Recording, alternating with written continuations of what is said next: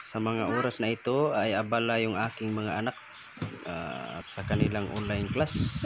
No?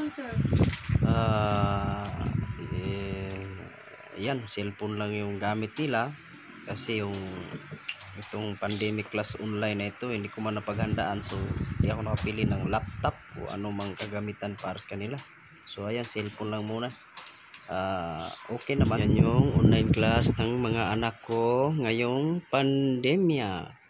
Ito ay magiging ah, documentary na lang balang araw. Ah, kwento kumbaga paglaki nila na nakaranas sila ng ganitong klasing sistema ng pag-aaral.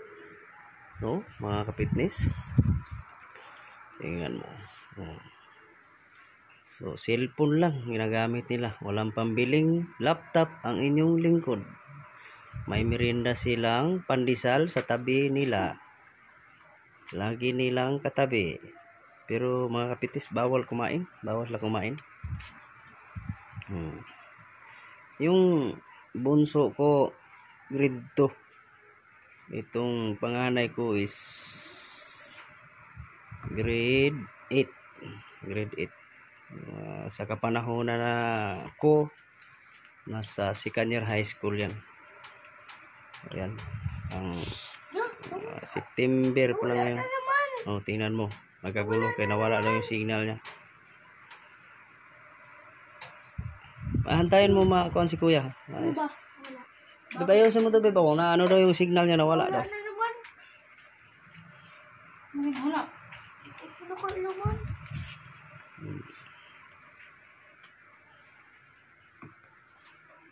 Yan lang mga kapitness ang update ko sa online class ng St. Nicholas Catholic School of Maribeles, Bataan dito sa Maribeles, Bataan.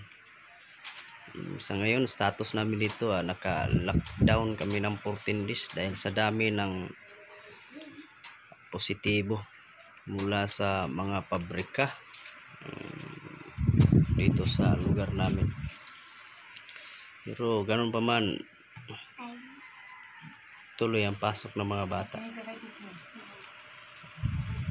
September, ano pizza ngayon? September 14, 2020. Hello daw. Sige, yun lang muna mga ka-fitness update ng online class panahon nitong pandemic.